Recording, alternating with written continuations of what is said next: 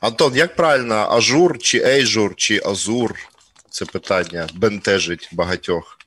Это очень хороший вопрос. Большое спасибо, что ты его задал. На самом деле, как бы я этот вопрос задаю себе сам каждый день, но правильного ответа найти так и не могу поскольку так получается, что работаю там тоже и с американскими, и с европейскими компаниями, да, то в разных регионах произносят по-разному, да, как бы кто-то произносит как Azure, да, как бы кто-то произносит как Azure, особенно вот Azure, это такое вот Франция, Бельгия, вот там любят такое произношение.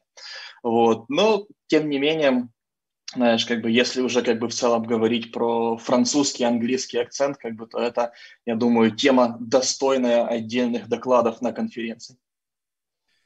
Круто. Я я не так просто спитав. А, ну, Моя одна задач з зі списку, яка стоїть перед модераторами, це представити спікера, і Антона доволі легко представити. Якщо, можливо, хтось там не, не, не знає, то можна його описати Декількома словами, Антон це людина Microsoft Azure. От ну в моїй голові це це так. Тобто, це спів не співзасновник, а засновник найбільшої ком'юніті Microsoft Azure в Україні, а спікер на багатьох конференціях. І, взагалі, це людина, яка може відповісти.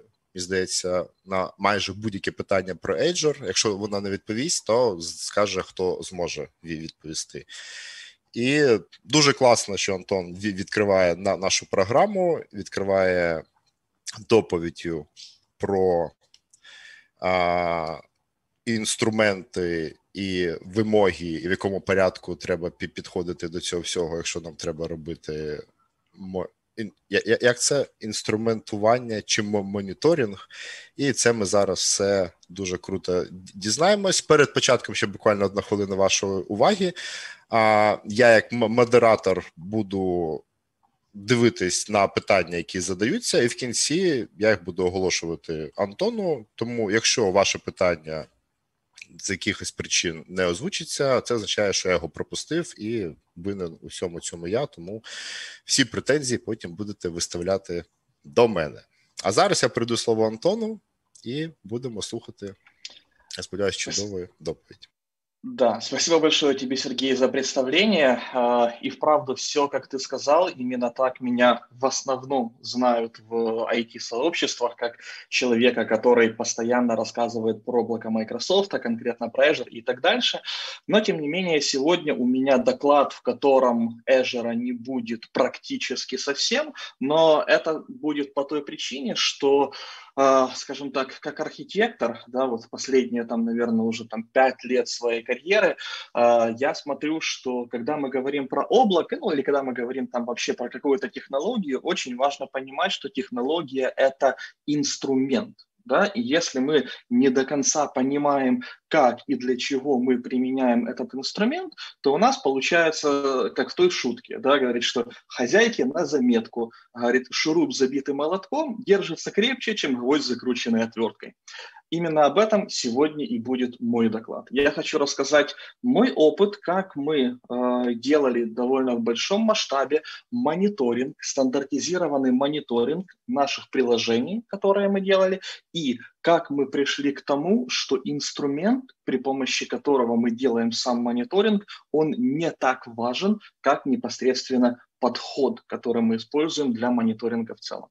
Ну и начнем как бы с небольшой э, истории, да, вот, часто получается так, что я прихожу к ребятам, а сейчас я работаю в основном с разными сервисными компаниями и конкретно вот больше всего работаю с компанией, которая называется Valtec. Основной бизнес этой компании – это создание и поддержка разных маркетинговых платформ, e-commerce платформ и так дальше, и так дальше. И важный момент вот именно здесь – это поддержка. То есть клиент платит за разработку, допустим, e-commerce решения, и потом клиент доплачивает оплачивает нам за то, чтобы этот e-commerce продукт хостился где-то, да, как бы не суть, даже не обязательно, чтобы в Azure, да, но мы уже отвечаем своими деньгами, своей головой за аптайм этого продукта. Если он как бы уйдет в офлайн, то, соответственно, клиент будет терять деньги, и никому от этого лучше не будет.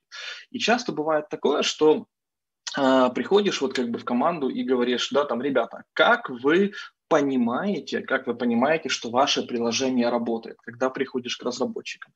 Ну, первый пункт я добавил, как бы почему, потому что в начале моей карьеры, да, там в начале 2000-х, мне иногда отвечали даже вот так, что если человек, как бы пользователь набрал трубку и сказал, приложение не работает, значит, оно не работает, да, но я такое даже не буду комментировать, это как бы ни в коем случае не про нас, это просто как такая еще одна шутка-байка от архитектора. Значит, э, дальше. Э, что есть еще? Еще есть варианты, что ну, мы как бы меряем там загрузку CPU, и если загрузка CPU там пошла вверх, вот, то мы начинаем какое-то исследование, потому что, возможно, это показатель того, что у нас проблема. И вроде как звучит вполне логично и вполне правильно, да, но с другой стороны, смотрите, это то, что CPU пошел вверх, это не означает, что у вас все плохо да, может быть, и ребята, вот, которые, допустим, активно работают с такими продуктами, как Kubernetes, скорее всего, они смогут даже подтвердить этот тезис, что если у вас большая загрузка CPU, это не обязательно означает, что у вас все плохо. Это может означать, что наоборот, вы просто настоящий ниндзя, который смог спаковать все настолько плотно и настолько хорошо, да, что у вас максимально эффективно используются ваши там, ну, железные, виртуальные, там, какие угодно ресурсы. Поэтому это тоже, я бы не сказал, что такой хороший способ э, мониторить ваше приложение. Дальше. Мы занимаемся стримингом всех наших логов в ELK Stack. Интересно, хорошо, тоже модно, молодежно, и нельзя сказать, что это плохо, да, потому что это тоже как бы хороший подход. Но проблема в чем? А, средний вот веб-сайт сейчас, который делает компания Valtec, если мы со всех компонентов абсолютно все логи будем собирать где-то куда-то, неважно в каком решении, то даже средний нагрузки веб-сайт может за день вам сгенерить примерно 20 гигабайт логов. Да? Теперь представьте, что у вас где-то что-то пошло не так, и вот удачи вам как бы анализировать эти логи. Едем дальше. Мы будем э, запускать какой-то веб-пинг, да, допустим, при помощи такого сервиса, как Pingdom, и будем мониторить, что наш сайт работает. Ну, тоже как бы неплохая штука, да, если Pingdom отвалился, то, скорее всего, где-то что-то как-то с сайтом плохо, и нужно пойти и э, как-то это, значит, исследовать и разобраться, что же не так. Проблема здесь в том, проблема здесь в том, что а что именно мы будем проверять при помощи пингдома? Да? То есть мы будем там, не знаю, дергать главную страницу сайта, мы будем дергать что-то еще. Если главная страница работает, означает ли это, что работает весь остальной сайт, в том числе, допустим, какие-то интеграции там с третьесторонними сервисами, там, допустим, не знаю, там а там новая почта или QPay, там как бы и так дальше, и так дальше, которые могут быть нужны для нашего e-commerce продукта. Поэтому тоже это не самый идеальный вариант и не, по, не полное решение, которое не покрывает всех потребностей, по крайней мере, которые у меня есть. И даже вот ответ вида, что мы мониторим это при помощи Prometheus, отображая метрики при помощи графаны, ну, вроде когда вот все уже такие ключевые как бы слова здесь есть, вроде как все хорошо, но основная моя претензия вот к этим ответам, она следующая, да, что как архитектор, как архитектор, первоначально меня не интересует вообще, как мы это сделаем. Первоначально я должен задаться вопросом, что мы делаем, а только потом уже как. Да? Потому что, как я уже говорил, и я это буду повторять много раз сегодня, технология – это всего лишь инструмент. Да? Теперь смотрите, что у нас есть. У нас есть наш dev, у нас есть наш ops, и мы даже говорим, вот, у нас, значит, реализованы DevOps практики, а, мы говорим, что у нас там есть, опять же, continuous integration, continuous deployment, и вроде как все прекрасно работает, да, как бы вроде бы все автоматизировано, но, да, в какой-то момент разработчики сделали там готовую первую версию этого e-commerce продукта. Они приходят к operation команде и говорят, все, ребят, мы, значит, там выходим через через неделю в live, и дальше вы включаетесь по полной, да, там у нас три уровня саппорта, L1, L2, L3, вот, и как бы вот вы должны отвечать за там uptime системы, причем за uptime не просто за uptime серверов, да, потому что как бы uptime сервера прогарантировать проще простого, вот, а за uptime именно приложения, которое на этом сервере размещается.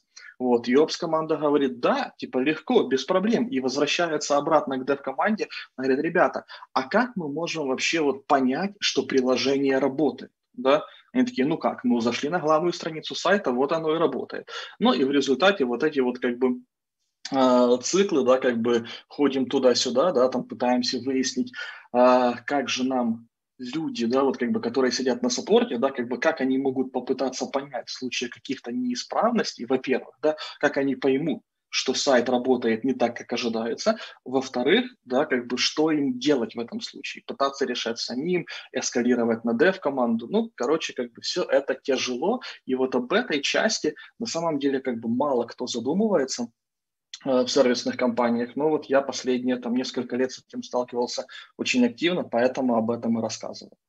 Смотрите, когда мы говорим про DevOps, я всегда, и в этот слайд, если вы следили за моими презентациями, видели уже не раз в интернете, я всегда говорю, что DevOps состоит из трех этапов. Как культура внедрения DevOps состоит из трех этапов, что первоначально у нас есть люди, вот, дальше у нас есть процессы, и третий у нас есть продукт. Именно таким образом мы решали эту проблему э, внутри компании Valtec, да, то есть мы начали с чего? Мы начали с людей, да, вот я говорил, что у нас есть dev-команда, у нас есть ops-команда, и если ops-команда, она плюс-минус как-то еще может быть централизированной, да, и у нас может быть такое, что, э, допустим, там, не знаю, есть там а один ops-инженер, э, и он допустим, там э, был заанборджен на, не знаю, там 5 каких-то там сайтов среднего размера, да, то есть в целом, в целом он должен понимать, как работают разные хостинг-платформы, да, но конкретно вот там по пяти сайтам, за которые он отвечает, он может там э, рассказать даже чуть глубже, уже где-то что-то понимает контекст. Но тем не менее, все равно он э, не имеет такой глубокий уровень погружения, как dev-команда. И это вполне логично, как бы от него такого ожидать не стоит. Поэтому, когда мы говорим про людей, то первое, что мы э, решили сделать, мы решили найти, собственно, какой-то вот такой общий знаменатель, да, как бы мы решили пойти от того, что сделать common ground и сказать, что, ребята, вот у нас есть такие требования, да, и давайте для того, чтобы вот все говорили об одном и том же, мы их согласуем и все этим требованиям будем соответствовать. Да? На самом деле то, что я вот буду рассказывать сейчас, это даже там э, определенный кусок внутреннего курса, поэтому вот эта часть, она такая плюс-минус там академическая, я постарался повыкидывать э, некоторые лишние детали и остановиться только на главном. Да? Что является главным? Смотрите, если мы говорим с точки зрения архитектуры, да, то с точки зрения архитектуры есть такое понятие, как э, атрибуты качества системы. И один из этих атрибутов – это штука, которая называется observability. Да? И observability – это то, что можно, очень важно, как бы, да, что можно, во-первых, померять, да, и это, собственно, метрика, которая отображает, насколько хорошо я по каким-то сигналам, которые мне подает система, могу понимать, работает она или нет. Да? То есть, допустим, как я говорил, да, вот я э, захожу, допустим, на там, главную страницу сайта, и оно мне возвращает HTTP 200, и оно мне генерит главную страницу сайта, и я понимаю, что все хорошо. Да? А потом я захожу в какой-то другой момент на главную страницу сайта, а оно мне возвращает 500. Да? И вроде как я понимаю, что все плохо, да, но с другой стороны показатель observability довольно низкий, потому что если мы берем там enterprise, скажем так, системы э, управления вот именно там e-commerce и так дальше, то эти системы могут состоять, там, не знаю, там, с 20-30 компонентов. Да? Я захожу на главную страницу и вижу 500. -ку. Это означает, что где-то вот в этих 20-30 компонентах что-то пошло не так. То есть это мне не дает абсолютно вообще никакого понимания, а, что, где, как и происходит. Другой важный тезис, который здесь тоже стоит сказать, что у нас могут быть вот эти вот метрики, по которым мы понимаем состояние системы, они могут быть, скажем так, более general, более общие, например, там, не знаю, загрузка CPU, загрузка процессора, там, количество HTTP запросов в очереди и так дальше, и так дальше. Я бы, наверное, больше даже отнес эти метрики к, скажем так, инфраструктурным метрикам. Да, а могут быть какие-то метрики, которые нам нужны все равно в контексте нашего приложения. Например, если есть какой-то payment gateway, то количество транзакций там, за единицу времени, да, там, которое проходит через этот payment gateway. В разных ситуациях те или иные метрики а, могут быть использованы для решения, опять же, разных проблем. Но если так вот именно посмотреть, что в моем идеальном мире представляет из себя observability, да, observability – это когда я могу смотреть вот в такое, скажем так, бесконечное зеркало, да, когда я могу делать такой infinite zoom. То есть у меня есть представление на высоком уровне, да, как бы у меня есть набор метрик, которые мне показывают на высоком уровне, что с системой что-то не так, а дальше у меня есть уже возможность занырнуть глубже, сделать какой-то срез, посмотреть те наборы метрик, понять, что ага, это проблема вот конкретно с таким компонентом, сделать еще срез, нырнуть еще глубже и так дальше, и так дальше, и так дальше. Для того, чтобы все это было возможно, да, нам необходимо, чтобы мы умели поддерживать, ну, плюс-минус как бы есть три вида измерений, э, хотя можно там ограничиться и двумя. Но тем не менее, первый вид измерений – это что? Это метрики. Да? То есть метрики – это то, о чем я уже говорил. Это может быть показатель загрузки CPU, загрузки оперативы, это может быть показатель количества запросов, которое прошло через систему, не знаю, там среднее время запроса за последнюю там минуту и так дальше, и так дальше. Дальше у нас могут быть так называемые события. Мы их отделяем от метрик. Да? События – это то, что у нас возникает, когда выполняется определенный набор условий. То есть это может быть что? Да? Как, например, у нас возникает событие, назовем его memory leak, да, ну, я сейчас, скажем так, тоже там фантазирую плюс-минус на лету, но тем не менее. У нас возникает событие Memory Leak, вот, если выполняются следующие наборы условий. Да? Например, оператива резко возрастает, потом оператива резко падает, и в момент, пока оператива резко растет и падает, в это же время, поскольку у нас там отрабатывает garbage collector какой-то и ставит все на паузу, у нас резко увеличивается время, которое мы тратим на рендеринг наших страниц, да, там как бы, или же там на формирование респонсов к нашему API. То есть вот такой вот набор из разных, скажем так, состояний показывает нам, что, скорее всего, мы можем стригерить ивент, который называется memory. И третья часть – это диагностика, да, это вот те вот самые логи, вот те вот самые логи, о которых я говорил, которые мы всегда храним отдельно от метрик, храним их отдельно от ивентов, и здесь тоже немного забегая наперед скажу, что к диагностике мы всегда обращаемся в самый последний момент. То есть, когда нам нужно провести какое-то исследование, мы всегда идем от метрик к ивентам и к диагностике. И здесь есть очень важные, скажем так, тоже а, вещи, которые мы для себя определили, которые мы договорились между Dev и Ops командой, что они обязаны у нас быть, а, что касается, собственно, точности этих метрик. Да? То есть первое, ну, как бы вполне логичное, да, а, какое значение этой метрики. Дальше, да, как именно мы эту метрику собираем, как мы именно эту метрику получили. Следующий – это конкретное значение или же это уже агрегированное значение этой метрики. Вот. Э, дальше, с какой частотой мы эту метрику собираем, а, за какой конкретно промежуток времени у нас эта метрика и на удивление, на удивление, но тоже вот такой важный момент, что эта метрика на самом деле означает.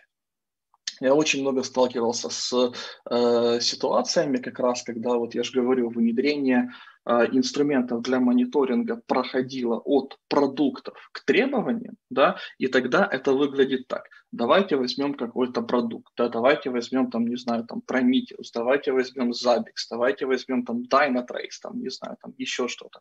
Вот. Какие данные он умеет собирать? Вот такие. О, отлично. По этим данным мы будем пытаться понимать, что же происходит с нашей системой. Ну, то есть это неправильно. Это так часто происходит, но по-хорошему это неправильный вот. А другой важный момент, который тоже я хотел сказать, я хотел его сказать относительно агрегации. Ну, как бы здесь на слайде на самом деле две вещи, а, о которых я хотел поговорить. Первая вещь, о которой я хотел поговорить, смотрите, представьте, что вот у нас есть такой график загрузки нашего процессора, да, и очень важно, что когда мы собираем эти метрики, чтобы у нас был адекватно подобран а, именно период, через который мы эту метрику собираем. Потому что, с одной стороны, если мы скажем, допустим, мы собираем там загрузку процессора, не знаю, там, раз там, в 10 секунд, раз в 30 секунд, да, то у нас тогда может быть ситуация, что мы будем собирать вот по этому нижнему, да, как бы, допустим, пику, и мы можем случайно пропускать вот эти вот как бы высокие скачки. В то же время, если мы собираем вот э, детально как бы, да, эту статистику, статистику, допустим, там загрузку CPU на уровне раз в секунду, то все мы понимаем, что мы увеличиваем нагрузку на систему, да, и полезных ресурсов на работу приложения остается меньше. Какие-то здесь четкие рекомендации дать тяжело, просто я это здесь оставил для того, чтобы показать вам, что с архитектурной точки зрения, ну и вообще, как бы, да, там в жизни, ну так получается, нету никогда идеального решения, да, всегда есть какие-то трейдофы, всегда для того, чтобы что-то добиться, вам нужно чем-то пожертвовать, да, то есть если вам нужен просто автомобиль для того, чтобы он вас возил с пункта А в пункт Б, то можно себе там купить Деуланос, да, если вы хотите ездить с комфортом, наверное, вы захотите купить купить что-то другое, но при этом вы должны смириться с тем, что вам за это придется больше заплатить. Ну, только так, к сожалению, никак иначе. В плане агрегаций тоже как бы что важно понимать, что вот вы получили, допустим, какую-то цифру, вы померили какую-то метрику, получили какую-то цифру. Что вы делаете с этой цифрой дальше? Да? То есть как вы поймете по этой цифре, хорошо вам или плохо? Да?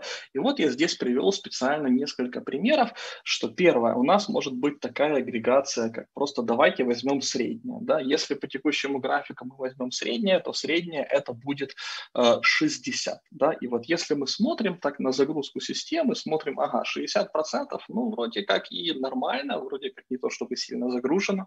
Вот. Но другой вид агрегации, да, как бы это, например, P50. P50 это от э, латинского percentile 50, то есть, по-хорошему, это то, что еще, вот данный конкретный пример, это то, что может называться медиана. Да, когда у вас есть, допустим, там отсортированный массив, и вы берете не арифметическое среднее, а вы берете просто средний элемент массива, да, и говорите, что вот это медиана, и в данном случае медиана у меня равна 30, да, то есть в данном случае моя медиана – это вот эта вот нижняя граница, да, или же как бы я могу сказать, что я хочу взять P90, то есть я хочу взять, грубо говоря, на пороге 90% от левого конца сортированного массива, да, посмотреть, какое там значение, там значение будет 95. Почему все это важно? Да? Потому что по-хорошему, имея вот эту агрегацию, вы можете легко и просто понять, какой у вас используется, какой у вас текущий является шаблон нагрузки. Да? Если мы говорим, что у нас среднее идет ниже, например, чем P90, то это означает, что у нас шаблон загрузки это какая-то синусоида, да? то есть оно идет вверх, потом как бы идет вниз, и в принципе как бы все нормально. Но у нас может быть ситуация и наоборот, когда у нас среднее больше, чем P90. Вот, то есть, например, у вас э, как это, скажем так, может выглядеть, да, что среднее больше, чем по 90. У нас везде может быть 30, 30, 30, 30, да, а потом какая-то одна может быть там 90 там, или там 100 или еще что-то. Да? И это как раз дает вам понимание о том, что у вас э, сценарий такой, что нагрузка в основном маленькая, но иногда бывают какие-то короткие скачки. Это на самом деле очень важно, потому что а, когда вы получаете вот э, такого рода вещи, это позволяет вам всего лишь там по двум, максимум трем каким-то показателям определить, э, что, где и как происходит с вашей системой. Когда мы договорились вот в плане теории, когда мы договорились, что, где и как мы собираем со стороны приложения, мы переходим к процессам. И мы говорим, смотрите, теперь нам нужно э, выставить процессы, как мы будем конкретно, э, скажем так, работать, как у нас будет настроено взаимодействие между, вот, собственно, dev и ops командой. Значит, и первое, о чем я хотел бы поговорить, это модель мониторинга, которая называется use. Uh, эта модель, она расшифровывается как бы по трем буквам utilization, saturation и errors, да, и изначально эта модель, она э, была предложена, собственно, автор этой модели, он ее предложил изначально для того, чтобы мерять производительность, да, то есть как бы она была нужна э, для того, чтобы можно было мониторить перформанс именно вашей системы и находить узкие места. В рамках этой модели подразумевается, что вы определяете ресурсы, которые есть у вас в системе, то есть вы определяете, например, там CPU, а, вы определяете оперативную память, там диск, сетевую карту и так дальше.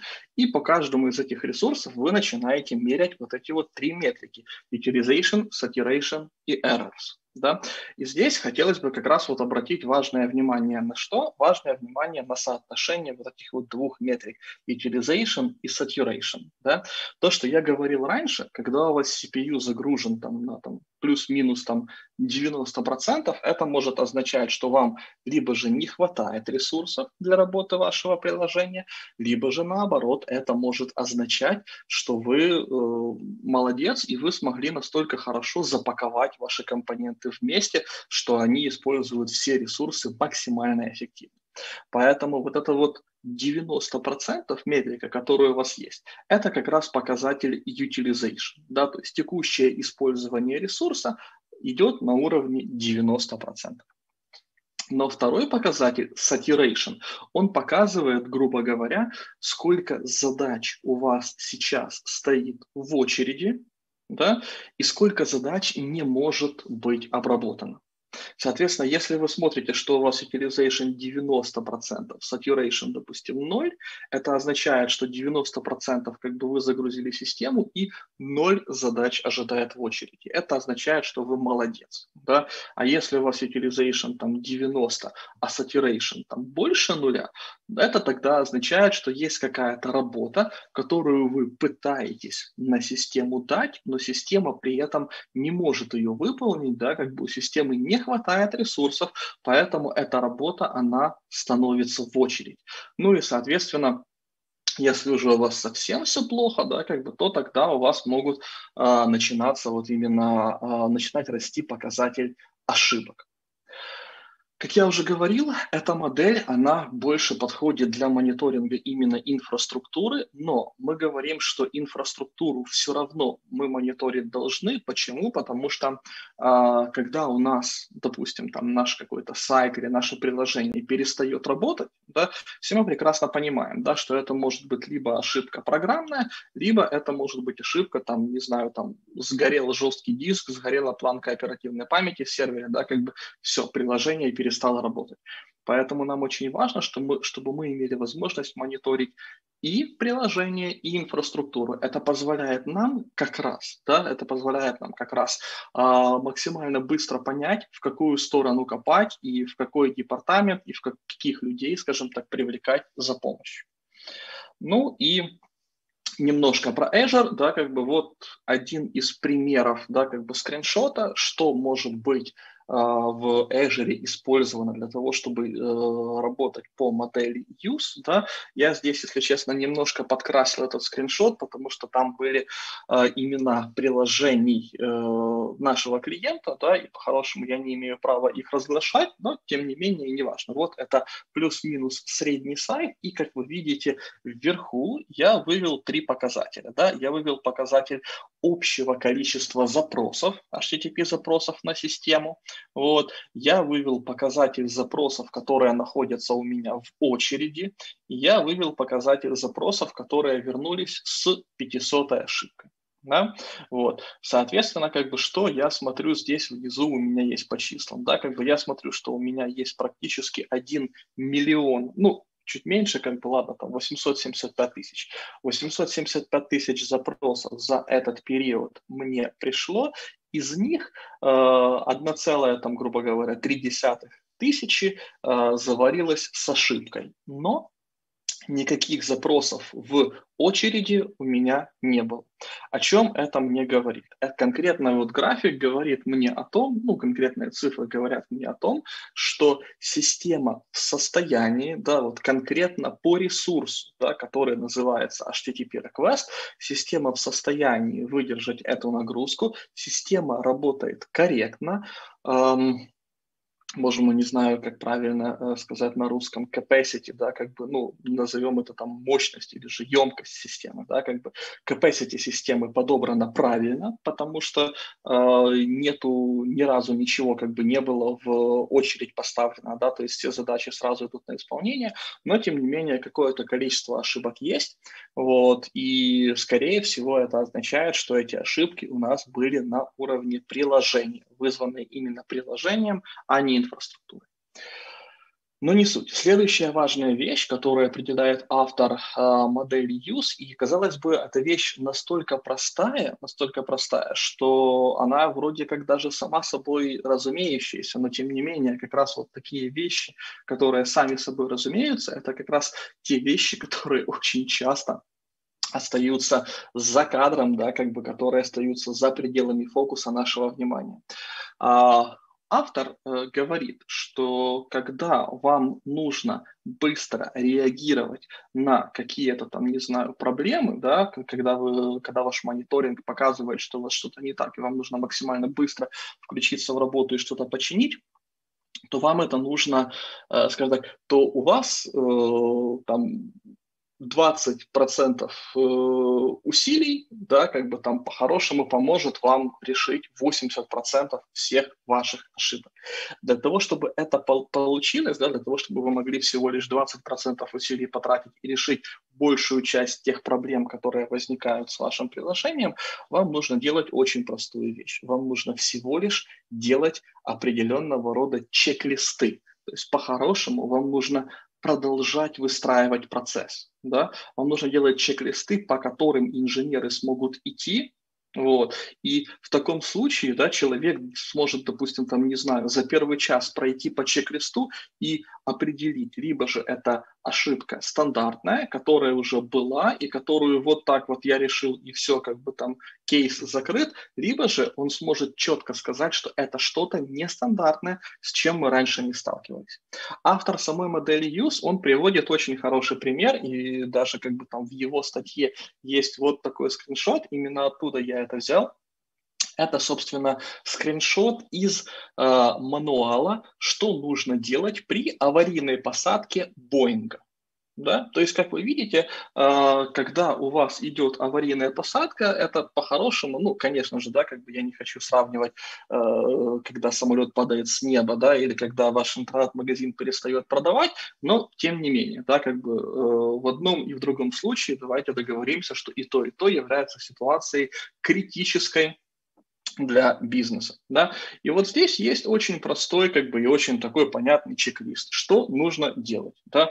То есть первое, нужно сообщить по рации, да, как бы СОС, мы падаем. Э, нужно, э, собственно, оповестить э, команду, да, вот, э, нужно, э, не знаю, возможно, как бы что-то сделать с закрылками, я не настолько хороший пилот, как бы, ну, не суть, да, то есть у вас есть чек-лист, по которому вы просто идете, да, и, соответственно, в результате у вас получается вот такой вот довольно простой процесс, да, что каждый раз, когда вам нужно э, решать какую-то проблему, да, вы Первое, определяете ресурс, да, первое, проверяете ресурс на ошибки, проверяете его на высокую утилизацию, проверяете его на сатурацию, и таким образом вы, скажем так, отсекаете э, Э, какие-то вот стандартные ситуации, да, то есть это очень важный момент, потому что когда вы подходите к тому, что вам нужно быстро решить проблему, да, вот, имея возможность очень быстро отсечь стандартные варианты решения как раз помогает вам сосредоточиться на том, что это что-то, с чем вы раньше никогда не сталкивались. Ну и пример, опять же, как бы такого чек-листа может быть довольно простой, но даже такой простой чек-лист э, для инженера саппорта как бы может быть полезен. То есть представьте, что у нас есть вот где-то как-то такая топология для нашего сайта, у нас есть CDN, у нас есть Application Gateway, за ним стоит WebApp, а за WebApp стоит база данных, да, и представьте, что случилось, что тула, которую мы используем для мониторинга, она начала возвращать на главной странице там ошибку 404, то есть главная страница внезапно стала не найдена. Да? А, что мы говорим? Мы говорим, что если у нас есть такие-то симптомы, что какая-то страница начала возвращать 404 на нашем мониторинге, что мы делаем? Шаг первый. Да? А, берем другой инструмент и проверяем этот URL. То есть, допустим, берем браузер и проверяем, как этот URL открывается с браузера. Да? Дальше мы говорим, допустим, как бы с браузера открылись, все еще 404. Странно, хорошо, что мы проверяем дальше? Мы говорим, а давайте мы как бы вот э, уберем из цепочки два наших компонента, уберем CDN, уберем App Gateway и пойдем напрямую на WebApp, да, если у нас есть там какая-то точка входа напрямую на WebApp, и посмотрим, что происходит там. Возможно, как бы, ну, таким образом, как бы разделив, да, что проблема находится либо на уровне самой CMS-системы, да, на уровне вебапа или базы данных, либо же проблема находится где-то на уровне сетевой инфраструктуры, которая находится перед ним. Да? Вот. Допустим, WebApp отвечает, что все хорошо. Это означает, что нам нужно дальше продолжать двигаться вверх, что у нас проблема либо на AppGateway, либо на CDN. Да? Хорошо, используем такую же стратегию, проверяем тот же самый URL напрямую на AppGateway, минуя CDN. Да? Допустим, как бы там э, AppGateway отвечает, что все хорошо. Да? Таким образом, мы понимаем, что CDN отвечает, что все плохо, да? а все, что стоит после CDN, отвечает, что все хорошо. Соответственно, действия, которое мы рекомендуем в таком случае, это очистить кэш CDN, возможно, где-то что-то там застряло, да, и попробовать снова. То есть вот такой простой процесс, да, а, этот процесс, он несложный, и, соответственно, как бы его может выполнить э, инженер даже с не очень высокой квалификацией, и вот такие вот простые вещи они как раз и делают, и за счет этого э, уже если тикет долетает там до следующих уровней саппорта, то уже как бы мы четко понимаем, что все вот эти вот простые мелочи, они были у нас исправлены. Я сейчас только начал обращать внимание на время и понял, что я немножко как бы перетянул, поэтому я э, чуть-чуть ускорюсь дальше и скажу, что следующее, что у нас есть, это у нас есть модель RED. Это модель, которая у нас уже предусмотрена для мониторинга приложения, и она предусматривает мониторинг плюс-минус, как и модель use, по трем компонентам. Это количество запросов, количество ошибок и средняя длительность да, там, выполнения этих запросов. Что очень важно в модели RED, это то, что у нас по умолчанию, когда мы говорим запросы, да, как бы мы можем видеть вот такую ситуацию, так называемую unscoped. То есть мы видим, что за какой-то период времени у нас в систему пришло 10 тысяч запросов, среднее время ответа 700 миллисекунд и процент ошибок 0,1%. То есть всего лишь 10 реквестов отвалились с ошибкой. И по этой модели, когда мы смотрим вот на такое вот как бы unscoped представление, мы понимаем, что ну вроде как все работает хорошо ну, как бы, come on, какие тут могут быть проблемы? 10 э, реквестов как бы из 10 тысяч зафейлилось. Ну, скорее всего, как бы там это то, что мы никогда не найдем. Но не совсем, да. А, модель RED, она предусматривает, что вы должны иметь возможность, грубо говоря, скопить ваши запросы, если мы говорим про HTTP запросы, и группировать эти запросы, допустим, да, там как бы по URL. В таком случае, сгруппировав запросы по URL, мы можем увидеть вот такой следующий как бы сценарий, что из вот этих вот 10 тысяч, да, у нас было 10 запросов на один и тот же URL, да, э, средняя длина была 60 тысяч миллисекунд, и процент ошибок был 100%. То есть это нам показывает, что у нас есть какая-то страница, либо же какой-то endpoint, вот, в рамках которого, в рамках которого хоть обращение к нему происходит и редко, но никогда еще не было такого, чтобы этот endpoint вообще отработал. Он постоянно падает с ошибкой. То есть таким образом это дает нам возможность максимально быстро понять, что и где у нас поломано. Здесь у меня как бы немножко скриншотов я хотел показать опять же про Azure, но давайте, как я уже говорил, двигаться дальше. А, дальше у нас идут продукты. Да? Вот мы поговорили про основную теорию, как сделать мониторинг, мы поговорили про то, как выстроить процессы. Теперь мы говорим, а давайте же посмотрим, какими продуктами мы можем для этого пользоваться. И здесь, внимание, внимание, абсолютно любыми. Да? То есть мне, как архитектору, мне абсолютно все равно, какой инструмент команда будет использовать. Я вам скажу даже больше. Когда мы работаем вот именно в сервисных компаниях, то в сервисных компаниях э, мы работаем в рамках, да, там как бы бизнес-environment клиента, и может быть такое, что у одного клиента используется такой набор инструментов, у другого клиента на уровне enterprise утвержден там другой набор инструментов и так дальше, и так дальше. И тут представьте, приходит какой-то вендор и говорит, а мы вам, да, типа, заставим все делать вот так, да, конечно же, клиент не будет счастлив. Но если у меня есть подход, если у меня есть процессы, по которым я работаю, то я уже могу прийти к вендору и сказать, смотрите, у вас есть набор ваших продуктов, да, мы можем использовать ваши продукты, потому что вы все равно хотите быть э, осведомлены о том, да, как бы что, где, как происходит с вашим сайтом. Мы, поскольку полностью отвечаем за саппорт этого сайта, мы будем использовать вот эти вот процессы, да, как бы если надо, мы можем вас включить, опять же, как бы где, как угодно в эти процессы. И мы даем возможность команде выбрать, какой инструмент она хочет использовать. Да? В каком-то случае команда больше любит, там, не знаю, там, Zabbix, какая-то другая команда больше любит Prometheus, третья команда говорит, мы вообще все хостим на Azure, поэтому мы будем использовать Application Insight, Log Analytics и так дальше. И я абсолютно согласен со всем да, если команда сможет мне показать, дать ответы вот на те вопросы, которые я задавал ранее, да, как у них выстроены процессы, как они мониторят ту или другую вещь, да, как я могу понимать состояние системы по внешним ее сигналам, то, опять же, как бы используйте на здоровье любой инструмент, который вам больше нравится. И здесь как раз вот такая вот тоже небольшая добавочка, собственно, где же у нас dev встречается с опсом, да, вот в контексте DevOps, где у нас идет э, слияние этих двух дисциплин. Смотрите, то, что мы начали делать для наших приложений и то, что очень сильно нам помогает как раз поднять вот этот вот уровень observability системы, мы начали делать Custom Health Check API по трем, собственно, таким направлениям. Первое, ну, мы всегда делаем как бы три эндпоинта для каждого компонента. Мы делаем endpoint, который позволяет нам проверить application runtime. То есть если приложение на .NET, то мы делаем просто endpoint, который там возвращает какую-то стандартную константу, таким образом проверяя, что .NET runtime там работает. Да? Дальше, второй endpoint, который мы делаем, это endpoint, который проверяет внутренние зависимости. То есть, допустим, там база данных, кэш, storage и так дальше.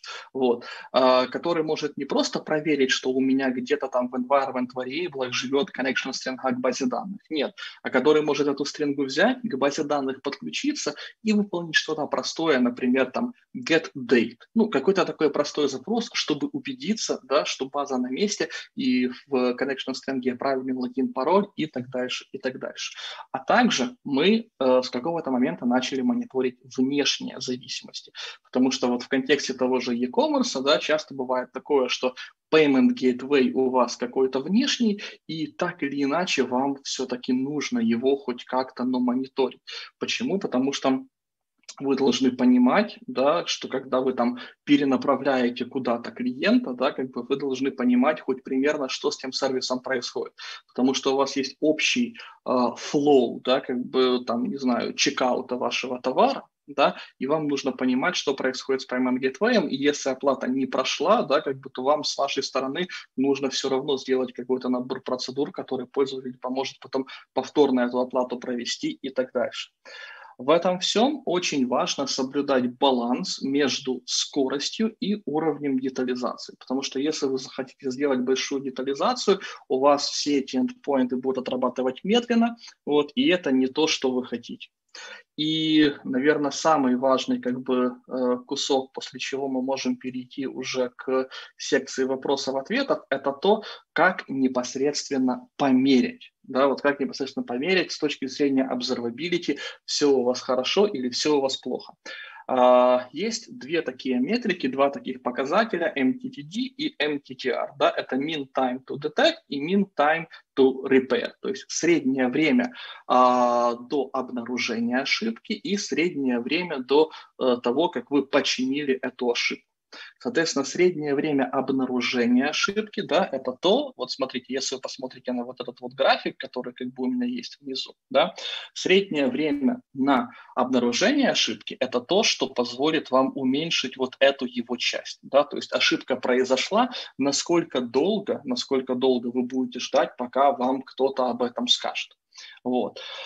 А, MTTR, да, среднее время на восстановление, да, она поможет вам как раз уменьшить вот здесь э, период вашей диагностики. Да, то есть вы знаете, что система ведет себя не так, как вам надо. Э, теперь вам нужно понять, какой конкретно компонент системы у вас не работает. Да? Поэтому качественно настроенный мониторинг вот по тем подходам, которые я говорил, э, используя отдельно там, метрики, используя отдельно диагностики, используя отдельно ивенты, используя две модели use, red и так дальше, и так дальше, оно как раз позволяет вам э, уменьшить вот эти два показателя и таким образом улучшить качество вашего сервиса в целом. А, на этом давайте я, наверное, остановлюсь. И, Сергей, у меня вопрос к тебе. Собственно, есть ли у нас какая-то активность в чатах, есть ли у нас какие-то вопросы в чатах, которые нам нужно обсудить? Так, активність в в Діскорді, наче щось я не бачу питань, або я не, не туди дивлюсь. Зараз ще перевірю, що у нас робиться В Телеграмі. В Телеграмі теж. Ну, як ти казав, це може означати або що ніхто нічого не зрозумів, або всі все зрозуміли. Да. Тому, ну, я, я наприклад, маю питання, тому давай. Давай. Може, почну я задавати. А Saturation – це прикольна така да. штука. А як її поміряти для ЦПУ, наприклад, або пам'яті? Вона релевантна взагалі для таких ресурсів? Да, а вот это, кстати, хороший вопрос, да. А, почему? Потому что ответ и да, и нет.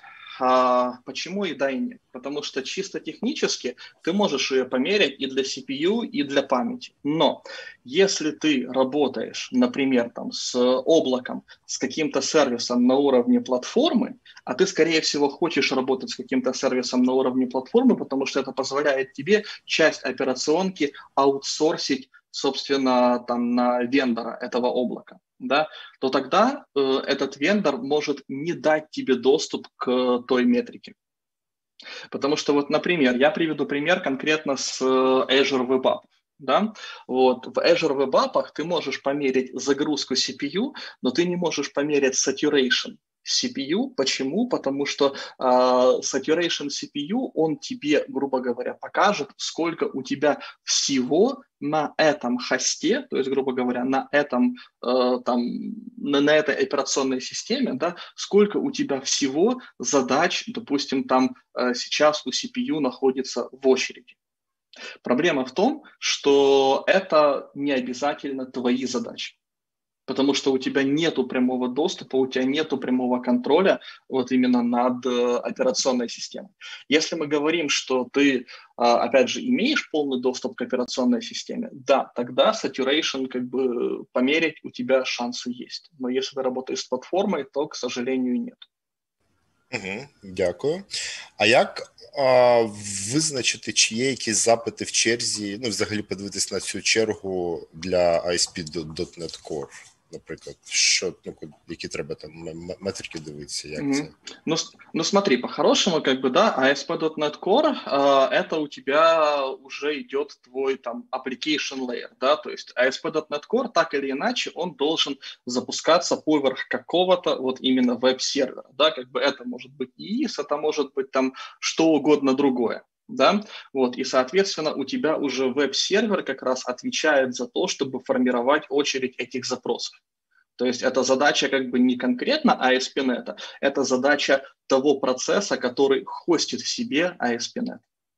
Ну, то есть я, например, знаю, как это посмотреть там для ИИСа, да, вот, и э, я думаю, что там, если ты хостишь это в рамках, не знаю, может быть, того же там Кестрела, допустим, да, то там тоже должна быть возможность это посмотреть. Я, возможно, так вот сейчас сходу не скажу, да, а, но на ИИСе это вообще не проблема. Угу. Супер.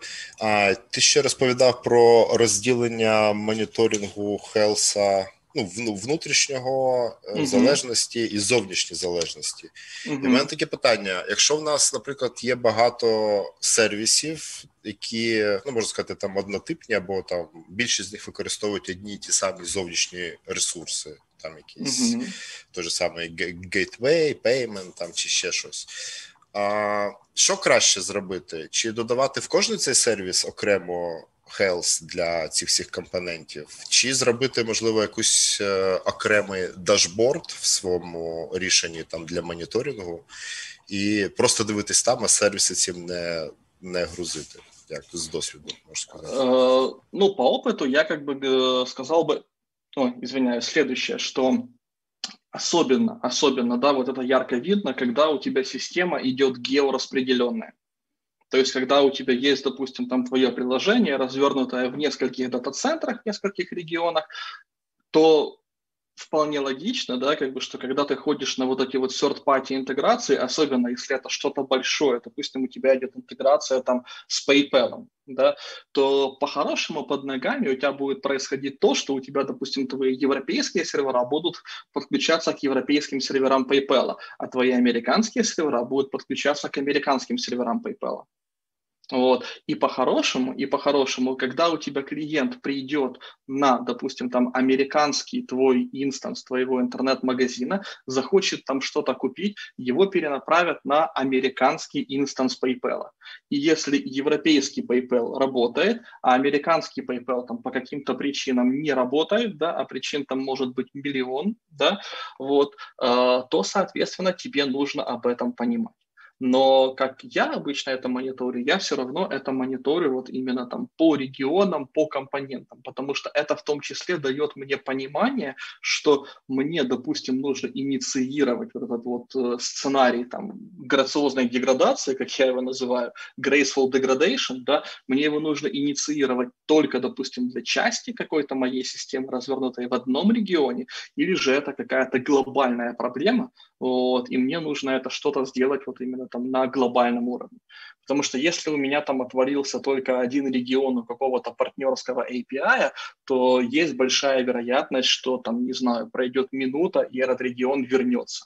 А если у меня как бы там легло, допустим, там в пяти регионах сразу, вот это уже как бы проблема. И здесь с одной стороны, с одной стороны, да, э, я могу это продиагностировать, но я не могу на это вообще никак повлиять ну, совсем.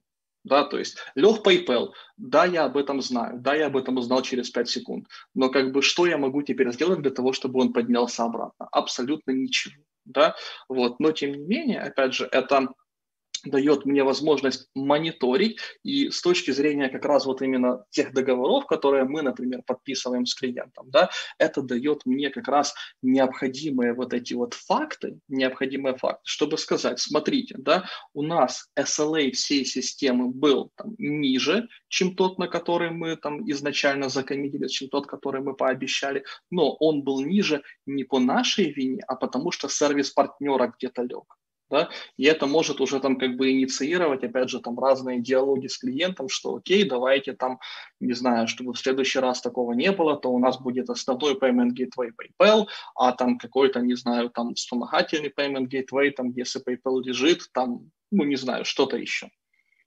То есть мы обычно это мониторим вот э, для, для таких целей, более стратегических.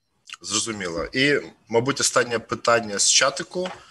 Як угу. краще моніторити невеликий сайт? Чи потрібно це взагалі? А, Хороший вопрос, да. мне этот вопрос там как бы раньше задавали, вот э, даже знаешь, задавали, как бы, да, вот где-то на каком-то ивенте я услышал одну такую интересную фразу, как правильно посчитать, как правильно посчитать, э, какой бюджет у вас есть на там улучшение безопасности вашей системы, да, то есть все знают, что безопасность это важно, и как нам посчитать, допустим, там, э, сколько денег мы готовы влить, чтобы эту безопасность как-то улучшить, потому что по-хорошему влить туда можно тоже как бы там бездонное количество денег. Вот. И я бы сказал, наверное, следующее. Да, как бы я бы сказал, что, конечно же, для мелких сайтов вот такой вот как бы детальный мониторинг не факт, что вам нужен. Да? Но я обычно это считаю просто по бизнес-кейсу. да, то есть там возьмем пример А, да, что у вас есть сайт, да, допустим, этот сайт э, перестал работать и не работал час, да, что случилось? Какой будет от этого, да, там, как бы, как это повлияет на ваш бизнес, там, и, или еще на что-то, да? Если у вас на этот сайт в час заходит, там, 10 пользователей, э, то, ну, скорее всего, это повлияет немного, да, вот, хотя, опять же, тоже зависит сильно от контекста сайта. Просто то, с чем мы сейчас работаем, да, вот, ну, опять же, вот, вернусь, как бы там покажу, э, сейчас, секунду, промотаю на другом экране, так будет, так будет мне проще, наверное, это показать, э, этот конкретный скриншот, да. То есть, смотрите, вот сайт, да, сайт среднего размера. Это при том, что вся статика, которая у нас есть, она закэширована на CDN, и, как вы видите, на сайте среднего размера, вот здесь, ну, точнее, даже вот начнем сверху, это метрики за 24 часа, за 24 часа у нас было 875 тысяч запросов на этот сайт. Поскольку вся статика у нас лежит в CDN, то это было 875 тысяч запросов на рендеринг каких-то страниц. Ну, то есть вы можете себе примерно представить, какой трафик в пользователях идет на этот сайт. И это, я же говорю, и это среднего размера. То есть есть у меня проекты еще больше. Вот. Поэтому для таких больших проектов, конечно, нам нужно делать довольно большие и сложные системы. Почему? Потому что э, если у вас есть, допустим, там, не знаю, WordPress, да, если у вас сайт на WordPress, то WordPress, я, конечно, с ним давно не работал, но из того, что я помню, он состоит из одного компонента. Собственно, сам WordPress, да. Поэтому если там что-то поломалось, э, ну, как бы вот чините, чините WordPress. А то, с чем мы работаем, это системы, я же говорю, которые могут состоять там, из 20-30 компонентов. И когда что-то ломается, то э, раньше была большая проблема понять, в каком вообще компоненте это поломалось. И как раз вот эти вот системы мониторинга, которые позволяют мне потратить там первые 10 минут пройдясь по дашбордам, сравнив все метрики и через 10 минут уже нырнуть четко в один компонент, четко в то место, где я знаю есть проблема, поверьте, они очень сильно решают. А, для небольших сайтов, э, да, я же говорю, вполне хватит какого-то какого решения попроще, но э, единственный правильный способ это понять, это дать себе ответ на вопрос, э, сколько денег там или чего-то еще вы потеряете, если ваш сайт будет недоступен, там, допустим, на протяжении там, часа или дня или там чего-то такого. Супер, дякую за відповідь і за сесію.